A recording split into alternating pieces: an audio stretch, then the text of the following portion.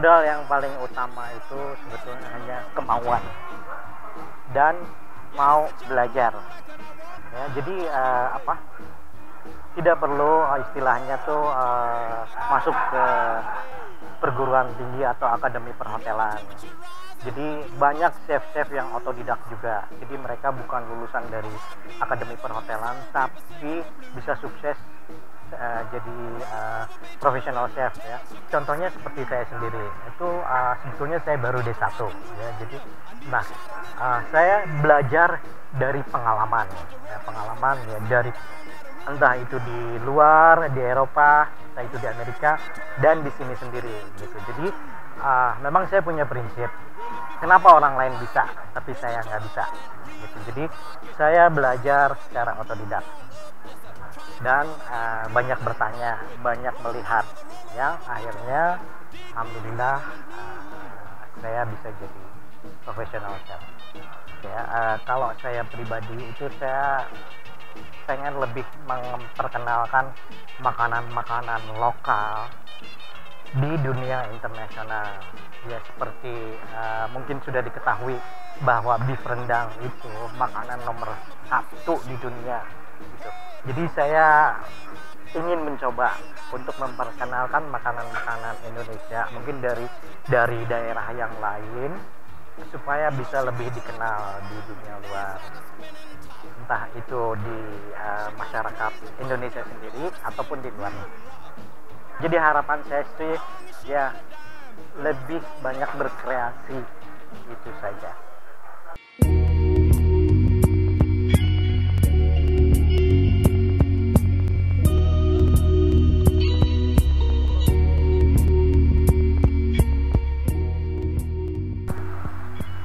saya Iqbal. Saya kurang lebih di dunia kulineri sekitar 12 tahun. Untuk spesialisasi kurang lebih lima tahun saya di Japanese. Satu tahun di sushi sashimi, di Genki Sushi, dan empat tahun lagi di uh, Yakiniku, Toranamon, restoran. Saya lebih uh, suka yang mentah-mentah ya, sushi sashimi kayak salmon, kayak ini. Tapi uh, interest juga ke makanan Indonesia. Nggak mungkin saya ngilangin cita rasa Indonesia profesi chef itu bukan hanya uh, sekedar bikin makanan dan mengerjakan makanan ya. Profesi chef itu ada uh, memanage memanage dapur memanage bahan baku membuat uh, saus kasih SOP terhadap kebawahan gitu dan mengetahui uh, kos kita berapa per ini per bulan gitu loh. Itu yang paling penting. Awalnya saya emang dari bawah dari nol dari dishwasher. Dan itu emang uh, tekad saya uh, ngelihat atasan saya. Atasan saya kok bisa jadi nih? Kenapa saya nggak bisa? Nah itu saya cita-cita saya ke situ. Tapi setelah ini saya lihat uh, basic saya nggak bagus. Di antara dari swasser itu cooking method cutting method pun saya tidak tidak mengerti. Nah untuk itu saya belajar di Apindo satu tahun. Nah dari situ saya mulai bahwa uh, dunia kuliner itu tidak hanya orang bisa masak tapi bisa semuanya gitu Kenapa saya uh, ikut kuliah itu karena dari atasnya saya tidak dapat uh, pelajaran yang baik gitu loh. Makanya saya coba ikut ke universitas ini. Walaupun cuma satu tahun ya itu ada bekal ilmunya lah. Perbedaannya istilahnya dari knowledge saya nggak tahu itu menjadi tahu. Dari uh, eh, SOP yang harusnya segini ini menjadi segini gitu loh. Dari yang barang tidak bisa uh, harus nggak dipakai ini bisa diolah dipakai lagi gitu. Intinya itu aja. Ya karena e, lihatnya orang enak gitu bikin makanan ngasih ke tamu tamu puas kita nikmat rasanya gitu tapi kalau udah tamu bikin makanan kita komplain nah kita mencari kesalahan kita di mana. Intinya gitu aja.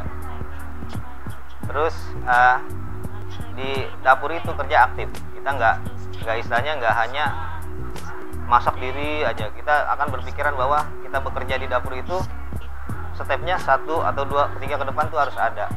Yaitu makna lebih e, kita membikinnya dengan apa rasa apa. Kalau rasa yang lagi mood bad kita akan hasilnya jelek. Makanya kita buat gimana nih makanan se sebagus mungkin dan presentasi secakap mungkin. Karena kita di sini franchise jadi kita hanya mengembangkan gitu loh menu-menu. Jadi istilahnya kita juga punya patokan dari standarisasi pusatnya. Segala sesuatunya kita harus izin ke standar pusat. Kalau pengalaman saya sih kalau kulineri di Jakarta ini itu punya pos masing-masing. Nah misalnya kayak untuk makanan Japanese itu ada posnya masing-masing. Kayak sekarang kan lagi ini sabu-sabu lagi innya ini. Kalau untuk western kan banyak juga yang di Tebet kayak westernnya yang burger sepanjang tuh. Posnya masing-masing menurut saya sih eh, dunia kuliner di Indonesia ini tetap bersaing gitu loh. Dari masakan Indonesia nya pun nggak mau kalah. Misalnya gitu.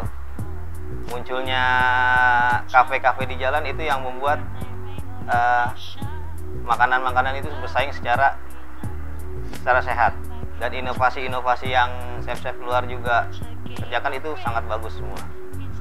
Karena Japanese kuliner itu uh, segala ingredientnya itu fresh. Nah ya kayak ikannya itu kita harus dapat fresh. Ikannya kan istilahnya kita nggak nggak ada di lokal. Kita impor semua dan itu pun kargo. Semua. Dan barangnya pun emang agak susah gitu kan. Agak susah. Yang itu saya suka di situ. Untuk menciptakan rasa itu kita lihat pasaran juga. Kita nggak bisa uh, ontetik kayak rasa seperti orang di Japanese gitu loh. Pasaran kita gimana? Rasa suka orang kita gimana? Itu yang kita ikutin. Kita kerja di sini untuk bikin masakan Jepang tuh nggak harus ego seperti di Japanese. Yang penting kita punya fusion yang bisa diterima di pasaran Jakarta ini. Kalau saya rasa uh, bisa membedakan gitu loh. Khusus untuk yang di Indonesia saya bisa di Western saya bisa di Japanese pun saya bisa membedakan. Jadi istilahnya uh, kita punya lidah terlatih selama ini gitu loh. Jadi istilahnya bisa mempos-poskan untuk makanan tersebut. Semua kerjaan pasti ada jenisnya. Tapi kita memaknai kerjaan itu dengan ikhlas. Biar istilahnya semuanya uh, lancar-lancar aja.